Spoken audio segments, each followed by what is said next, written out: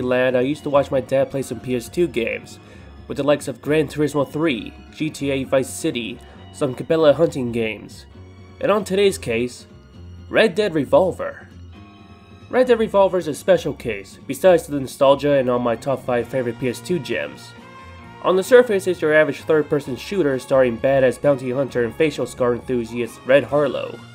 Deep down, this game is the backbone, the foundation of what's later known to be the Red Dead franchise. But it's not always like that. Back then, it wasn't even a Rockstar title, but an arcade shooter published by Capcom. So ladies, gents, trans people, lost media, and western enthusiasts, welcome to Red Dead Revolver, the Capcom game that once was.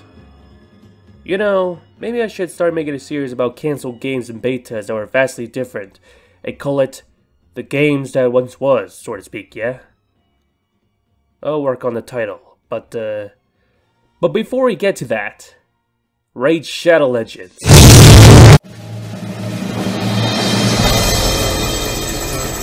Once upon a time, there was a small company known as Angel Studios, founded by Colombian artist Diego Angel in San Diego, California.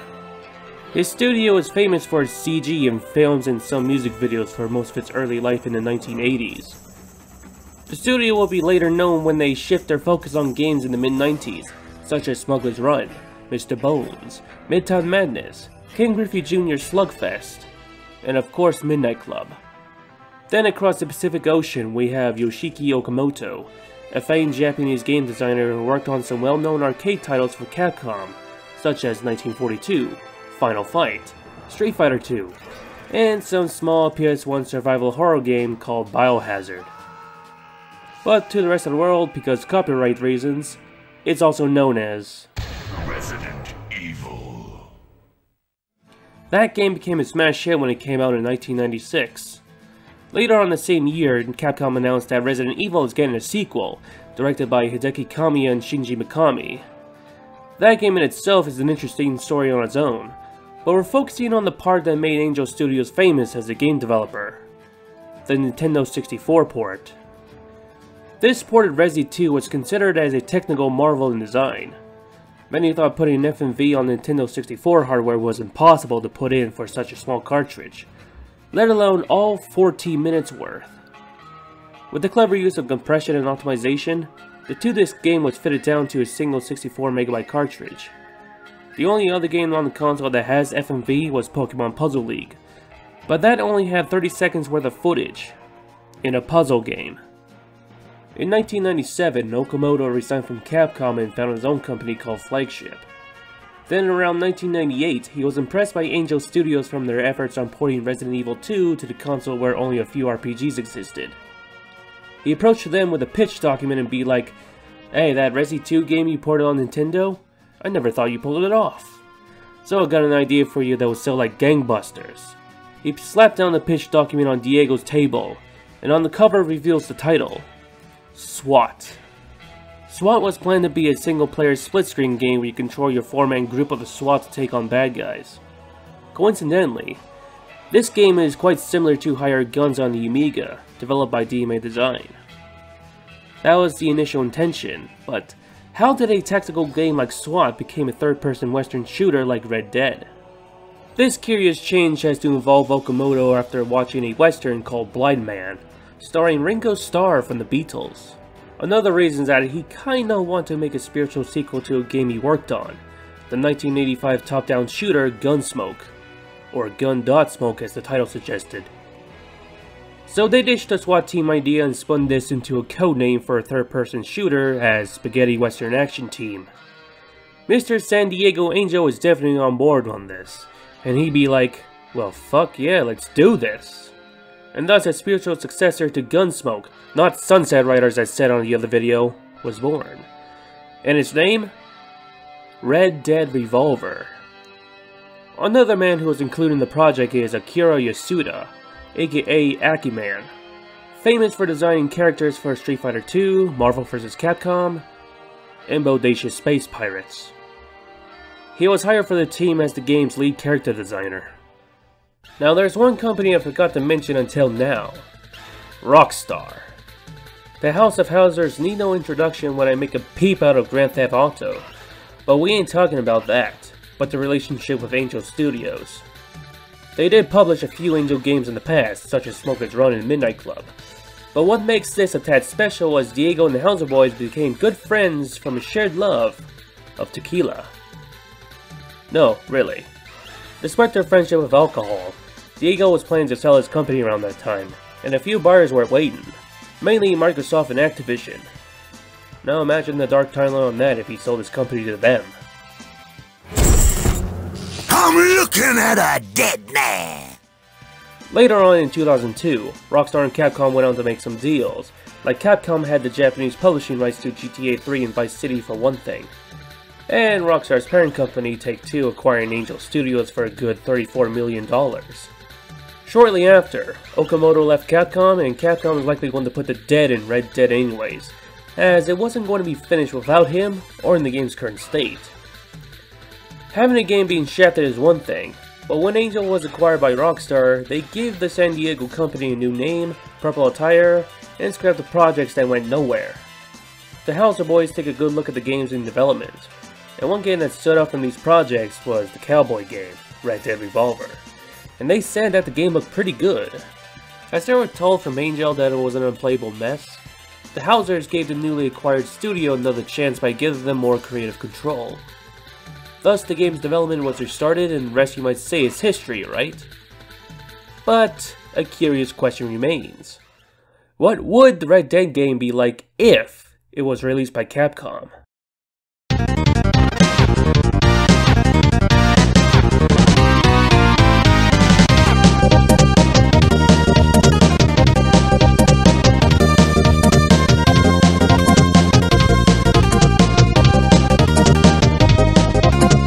November 30th, 2020, we have an answer as an early prototype was dumped to the public. This was released by the same guy who claimed to dump the PS1 version of Superman in the fabled Resident Evil 1.5 prototype. The build date for Red Dead Revolver was from January 15, 2002, a good two months before its official announcement. This can be known as the early Capcom build, or the SWAT version as seen in the game's ISO. This is the closest thing for beta to a major Rockstar title, like acquiring the E3 build of GTA 3. Between the early development stages underneath the names of SWAT and Red Dead Revolver, there's a new discovery. The game was once going to be called The Last Gunman and Red Revolver, meaning that the dead part was later put in as either the story significance or has a nice ring to it since it rhymes with red. According to Okamoto, this is Naoto Tominagi's idea. Red Revolver seems kinda bland as the main character's gun isn't even red, and the last gunman seems either too generic or like the avoid lawsuits from William W. Johnstone, the author of the Last Gunfighter series western novels. Either way, prefer Tominagi's idea, and be grateful that there's no red redemption on the later titles. I mean, it ain't the same without dead, like a viper without the stripes. So in this video, we're going to take a good look at the game's levels, weapons, characters, and notably the gameplay. I will compare these with the final game for differences. If there's some spare time, I'll try to get into some miscellaneous content, and try to grasp over the loose story. So let's begin.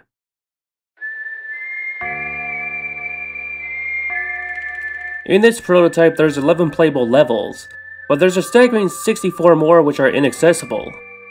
This demo has a multiplayer mode too, but it only contains one level which is reused. The theme music for all of them is just a looping version of the theme song of Leone's For a Few Dollars More, composed by Ennio Morricone. To save us the mercy from listening to a non-seamless loop of Morricone for God knows when, I got some soundtracks for other western games. The Red Dead soundtrack are all licensed, however, and I'm not planning on getting copyright striked over the same song shared with a SpongeBob episode. Now let's look at the game, shall we? Training Stage. Don't fret, the game didn't freeze if you select a level, but it lacks a loading screen. Yeah, it takes a long time to load a level without Red twirling his gun like an ocelot. But after it's loaded, you are greeted with two options, Basic Training or Shooting Challenge, instructed by this familiar man here. The environment is much different and is based off this piece of concept art shown. As the name suggested, this was the original tutorial level, The final game shows you the mechanics for the first few levels, instead of giving you everything at once. There's no way out of talking to him, but there's no punishment of leaving the intended place and explore the lake on the other side. There's some wreckage by said lake, meaning that it might connect to some unprogrammed gunfight as suggested by these holes in the walls. There's a bug here where you can softlock the game by pausing and unpausing during this small menu here. But then again, you can still restart the level or exit out of it. Fun fact, this backdrop didn't get cut after all. The camp area where you start was repurposed for a cutscene, and the main level itself was heavily reworked as a stealth level where you play as Shadow Wolf. Sadly, the river on the other side was cut. Prologue Stage This is an early version of the very first level of the game where you play as Young Red. The house is a bit cleaner looking. Some instances, plants and foliage placement are different, and the environment outside the house lacks a creek and firing range. You also get to fight enemies too, featuring Ugly Chris's gang and Billy the Kid as some boss. This means that Red got to Billy before Pat Garrett did. No, the house isn't set on fire, but there's a woman and little girl running around in fear. Killing Chris's gang just gives you a thank you and directions on how to restart the level so you can do it again. Title Stage Simply the second level and first where you play as a grown-up Red. But the thing here is that you're still young Red. This happens on all levels, besides this one. It starts with this old man selling you weaponry, after a quote-unquote buy-in because you got $10, you attempt to walk away because there's a twist. The shopkeeper is an asshole, and then goons came out of the woodwork, including one dressed in drag and a Frankenstein monster. The level lacks additional scenery which the final version did as part of the cover mechanics. After killing these fools, you're interacted by this doggo friend here with no dialogue. One thing you need to point out is that there's no level ending. There could be, but all of them lack such a thing and most of them lack dialogue text. In case you're wondering, the only level that actually ends in this demo was the training stage after completing the shooting challenge. Sheriff Night. This one's the night stage of Widow's Patch, featuring this man who never made it to the final. He uses a rifle, rides a horse, and accompanies with shielded goons. Carlos is one Mr. Bullseye's name, and he has a neat trick which he bank shots you with his rifle. Also in the middle of this, there's a stone-faced hostage with a stick of dynamite over his ass. He tells you to follow him if you interact by pressing X, but it does nothing.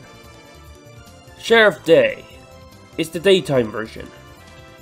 Since Ugly Chris's gang isn't a factor here as you already killed them two levels ago, here's a couple waves of gunslingers and campers instead. Now I know what you're thinking. How will they fuck up the dueling mechanics? A good question, but disappointing answer they didn't. Because there's no dueling. A better question is, when the dueling was implemented. Maybe not in this build. Alright, what's next? Besides Ugly Chris, how about Pig Josh instead?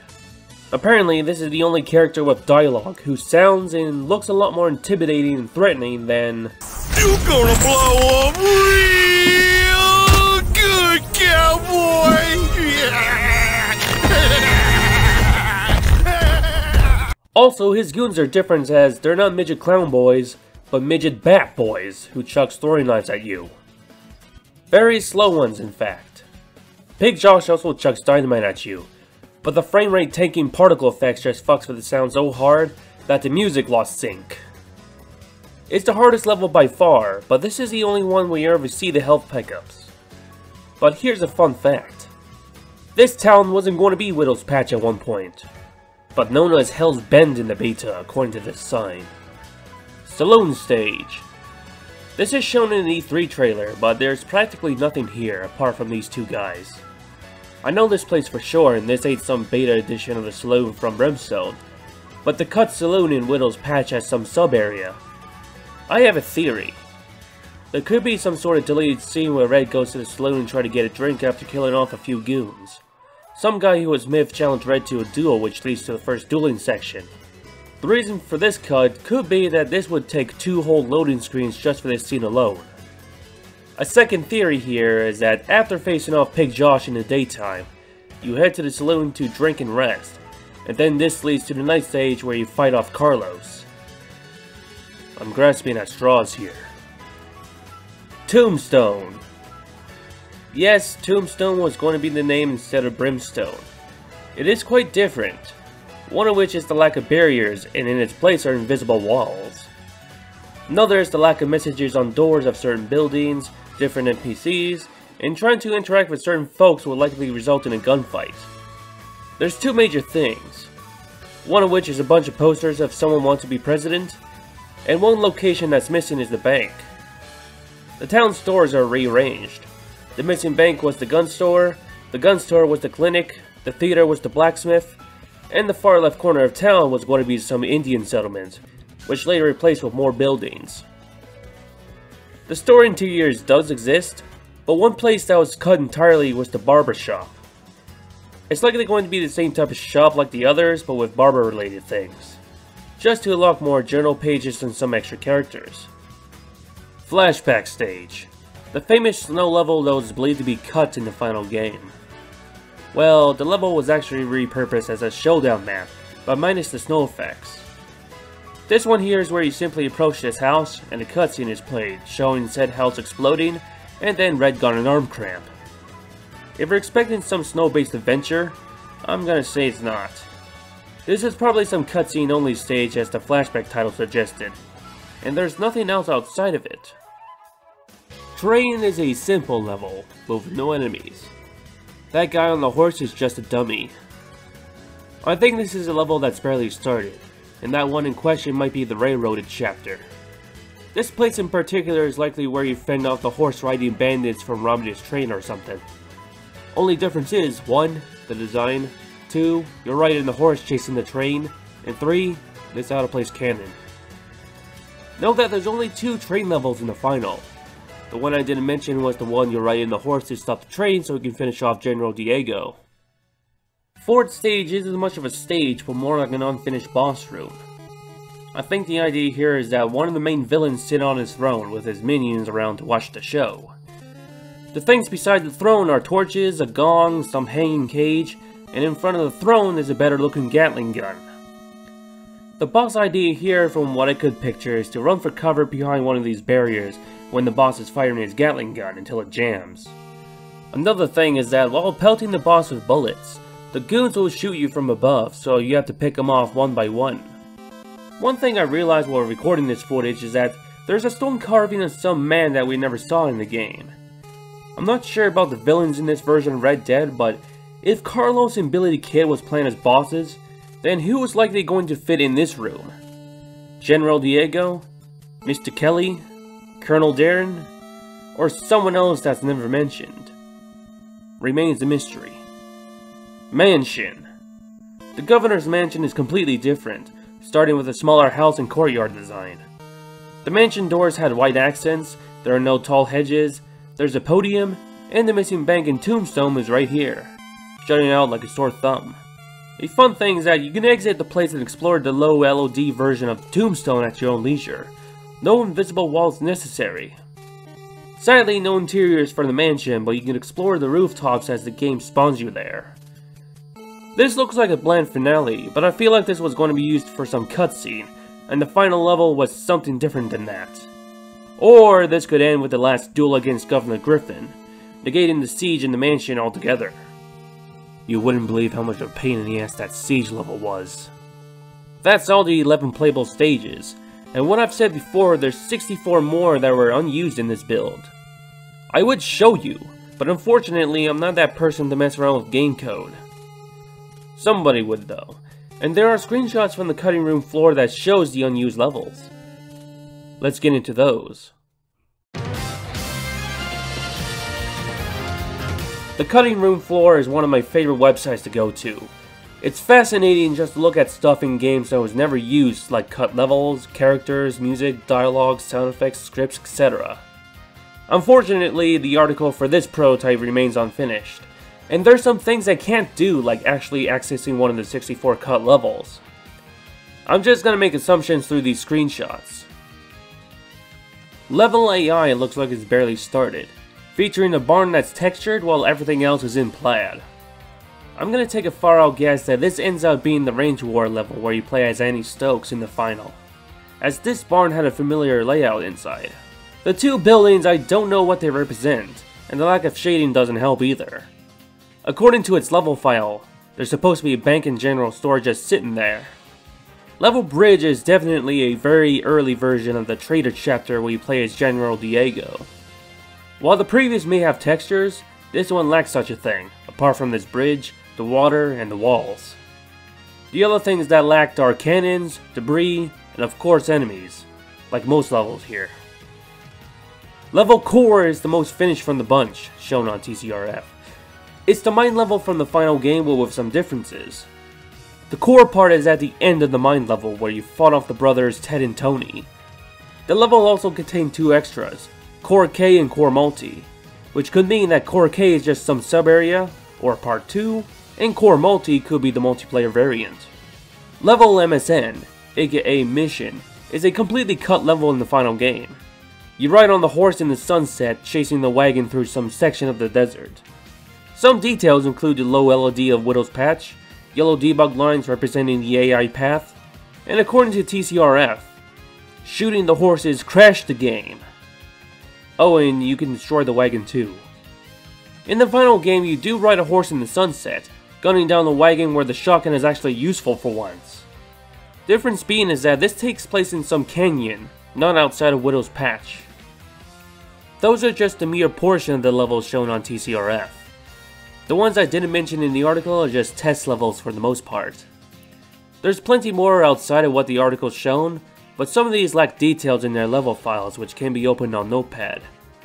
It's unknown if you need these certain files plus their models or what have you just to get it working, since most of the entire game's assets are contained inside swat.zip, which I'll get into later.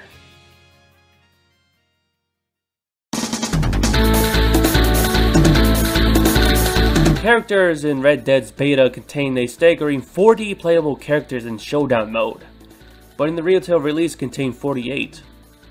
That sounds like it had less characters, but there's actually several in the prototype who are playable here and not in the final. Also not in the final game is that you can pick your weapons and special abilities, some of them at least. Apparently I don't know the abilities myself apart from the quick draw, but I think they're not finished. Unfortunately, there's no character banters, Jack Swift, and only contain one map, which could be monotonous against a single opponent. But the characters themselves, plenty of them had radically different designs shown in the final version. I'm not planning on analyzing all 40 playable characters, but I want to look at some which are the most interesting. Bat Boy is an unused enemy in the retail release who had the ability to glide.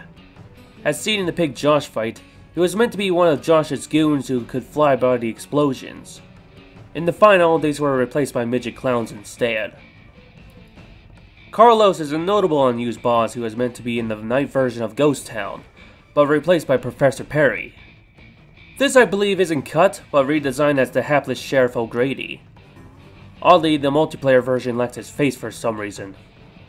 Guardians are an unused shield enemy type in the final, the shield does nothing in multiplayer, but the character could possibly be a beta version of Atlas Jones, who is the only one in the final game to ever use a shield. Billy Kid appeared as some boss in the prologue stage as Billy the Kid. His design is much different than the final version who is Kid Cougar. The one we got is based off Leonardo DiCaprio from Sam Raimi's The Quick and the Dead. Franken is huge, had green skin and patches all over. Also, he has two bottom teeth sticking out. This is an early version of George Little Oaf Whitney. Sadly, he's one of the final version's non-playable multiplayer characters. In the single player here, he's called Big Oaf. Ginny is the young girl who doesn't seem to appear outside of this build. She only appeared in the prologue. Mexican, M-Indian, Tall Guy, and Soldier are the only characters that crashed the game. This is likely due to their assets don't exist here. This title is likely short for Young Red's Master. He is meant to be a good guy but ended up as a boss for Shadow Wolf's level as Grizzly. This could be a piece of unexplained lore as Red was going to be trained by him shown in the training level. Plaid Guy could be a cut character. Like the name suggests, he wore plaid. Shop Owner is a beta Curly Shaw. He appeared to be an enemy in the title stage and wears glasses, I think. He also appeared in Tombstone as a friendly. Could be emulation issues, but he is kinda transparent. There are two characters labeled as ZZ Top, named after the front man of the same name. These are just the chunky sombrero guys you'll see in the final game. The next one is a baby. The retail version had children, only a few, but the baby in question didn't make the cut. Strangely, this one's playable, and it looks silly when you run around as a floating potato blasting a shotgun with telekinesis. The last one is Red himself. In the final game you can play as two different Reds in multiplayer, the adult and his younger counterpart. In the prototype you can play as four of them. The new Red is the one we recognized in the final, albeit looked a bit older and his hair isn't as spiky. The trading and snow versions are the young Red who doesn't resemble Red Jr. One of them could be reused as the newspaper boy Jody. The next one is just Red, and he stands out where he's blonde, sports a blue handkerchief, a worn down hat, and the red bandana on his hands showing out a lot more. Could this be the original Red in the early SWAT version? Or someone else entirely? Maybe I'll get to that later.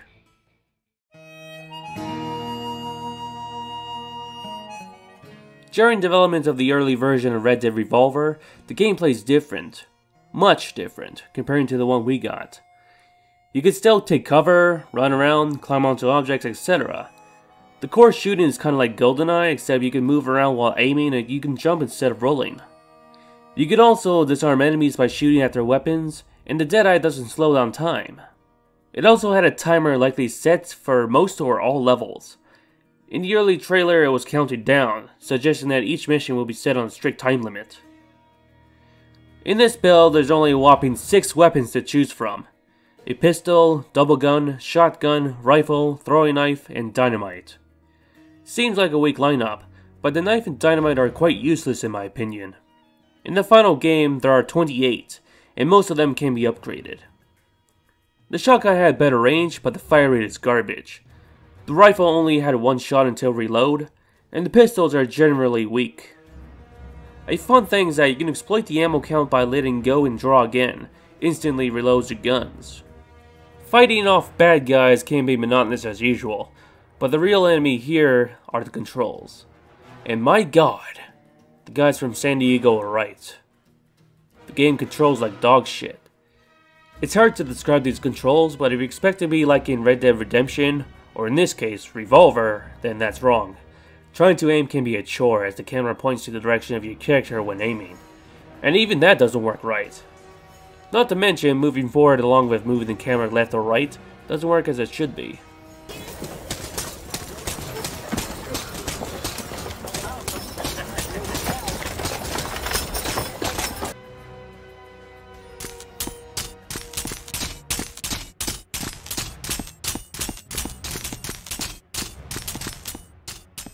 Not to mention, do you think killing enemies are easy?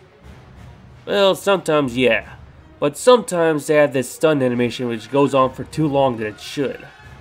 This doesn't only apply to enemies, but you too.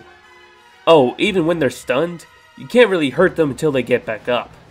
Shooting them in the back makes you think it deals more damage as you're not in the enemy's sight, right? Nope. It deals even less damage from what I tried.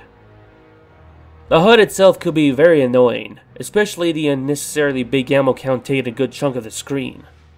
The later Capcom build had a much different HUD, but that one's much busier, with a large chunk that takes both top and bottom ends of the screen.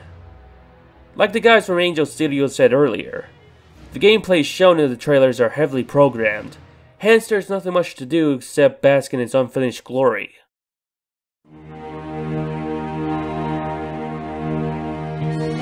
I mentioned about the level files in the unused levels chapter, but to give you some context, inside the ISO for the beta lies within the zip file called SWAT, the game's original name.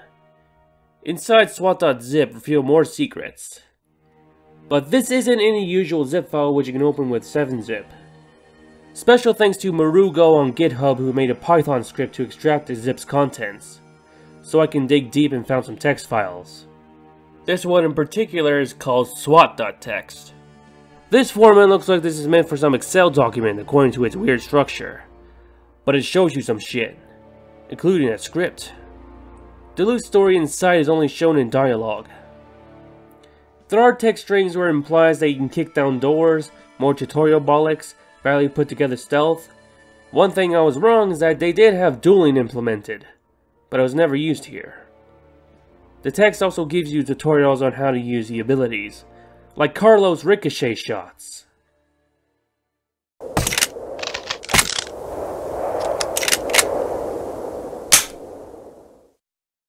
Howdy. My name's Carlos, and I'm the sheriff around these parts. Now then, I'm going to show you just why I'm sheriff. Old Betsy here, she ain't much to look at, but she's got a real nice trick. The dancing bullet. To do the dancing bullet is simple. First, draw your gun. Then move your aiming cursor up, down, then up again, real quick like. You should see a line indicating that you're ready to fire the dancing bullet.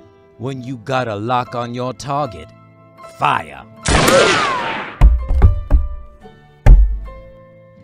Walls aren't the only thing you can bounce bullets off of. If you have the right partner, you can use them for your dancing bullet. That's all there is to it.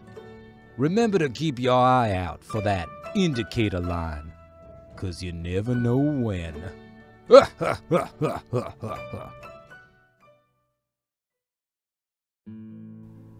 This would imply that Red would not only have Deadeye, but many abilities for certain kinds of weapons. The Dancing Bullet is an ability for the rifle, but what other abilities are there? In the Beta Showdown mode, there's Counterattack, Dynabar, and Ghost. Deadeye isn't going to be just Deadeye, but as Spinfire. So, four abilities in total. I don't know how to use the extra abilities in question, but I try them out in Showdown mode by wildly making weird combinations. The Dynamar ability I did perform, but I don't know how to use that.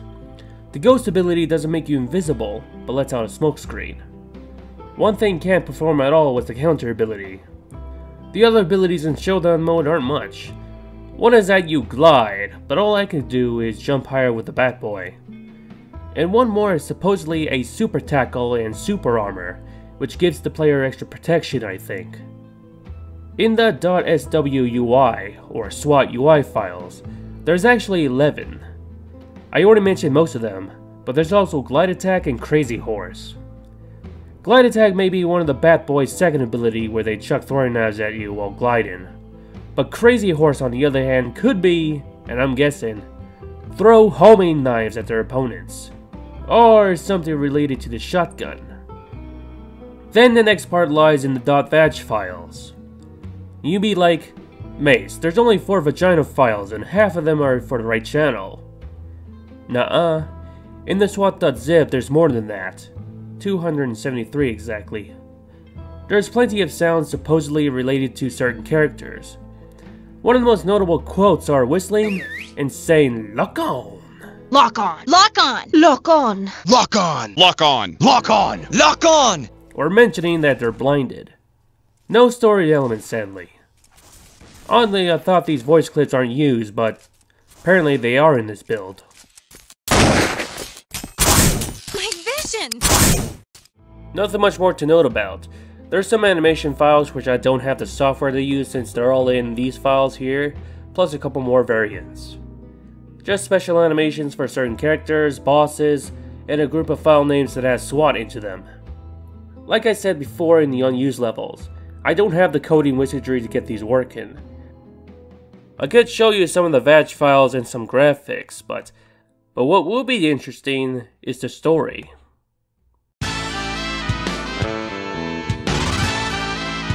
Red Dead story in its release is a more straightforward spaghetti western tale of a bounty hunter on a journey to avenge his folks from the men they killed. Sounds a bit quaint compared to its sequels, right? Then again, its beta story would have been much different. Red was planned to have a wide range of special attacks besides the Deadeye after defeating certain bosses. I don't know much about the original plot, I'm taking assumptions at this point. Even looking through this lengthy Polygon article about the development of Red Dead didn't give me much of a clue to work with. Well, story-wise. The best source of what would vaguely describe Capcom's version of Red Dead story is in a video by People Make Games with ex-employee of Rockstar, Dominic Craig, which is where I got some of the info from. The game's story is heavily based around on old westerns, notably Clint Eastwood's High Plains Drifter. Red's name wasn't exactly known as Red Harlow, but a nickname as Red Hand, which he has a burnt hand wrapped around a red bandana. In an early draft of the story, he was planned to be killed with his family at the start of the game, who will be returned from the afterlife to take revenge from those who killed them. The notorious outlaws throughout the final game are not just regular bounties initially, but instead some of the ones evolve to your death, which you have to take vengeance. The train level shown in the beta was originally going to be something out of Mario, featuring a Gatling gun, cannons, a heart-shaped train car, and a princess. Now you see this blonde red I showed you earlier? This I believe was the red who got killed, then later came back as the one re-recognized in the main game. This mirrors High Plains Drifter, where Clint Eastwood's character was out to avenge the death of a marshal, but it's implied at the end he is the same marshal who came back from the grave to settle his personal vendetta, but that remains disputed. That may be far-fetched, but another thing that comes to mind when I got some Gunsmoke footage was that Blonde Red loosely resembles Billy Bob, Gunsmoke's protagonist. Proof shows in an arcade flyer where he sports lighter clothing and a blue handkerchief, but he has brown hair. But, it could also be a mix between that and the other cover arts and concept art shown. I'm gonna guess that the spiritual Gunsmoke successor still remains in the beta's DNA still.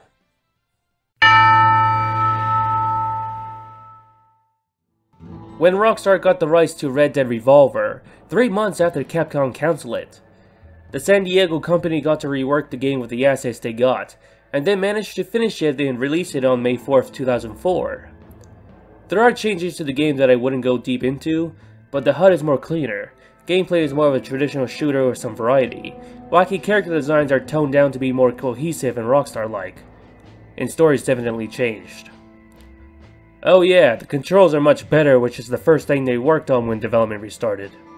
Even though the game finally saw the light of day, the developers had little to no hopes for it to succeed, let alone a follow-up. The final game received mixed reviews, an average of 73 on Metacritic, and sold well over 140,000 on the first week, and then later 920,000 copies in its lifespan.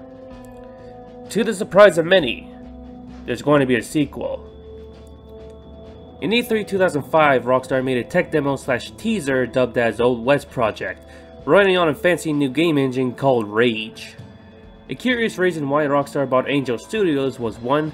Their relationship with its tequila-loving founder, and 2. Their game engine, which is what Rage is based off of. Because the Criterion renderware engine used for the whole majority of console games was about to be bought by EA, and Rockstar ain't having that shit. Anyways, this Old West project was planned to be a direct sequel to Revolver, but that didn't go anywhere. And so they made a new story setting at the end of the Wild West, starring another badass gunslinger and facial scar enthusiast, John Marston. This would soft reboot the franchise and call the Old West project under a new name, Red Dead Redemption. And you want to know one more crazy fact? Despite Red Dead Revolver was going to be planned to be published by Capcom, the final Japanese version did get published by them. You may be like, wait, what? Until I have to bring up that despite Rockstar allowed Capcom to publish GTA in Japanese shores, but that's not the only Rockstar games they could do that. So in some sense, Red Dead got published by Capcom in the end. Surprisingly, you can still play Red Dead Revolver on the PS3 and PS4, and on its own, it's a solid western with some good gameplay, a simple story, and a multiplayer mode that would be fun with a few friends. Its sequels are a different beast entirely, setting the world on fire from each release, even when the relevant time was spent on making an immense amount of detail. But one thing you should remember is that, without Red Dead Revolver, there won't be any redemption. Anyways, what else should I cover?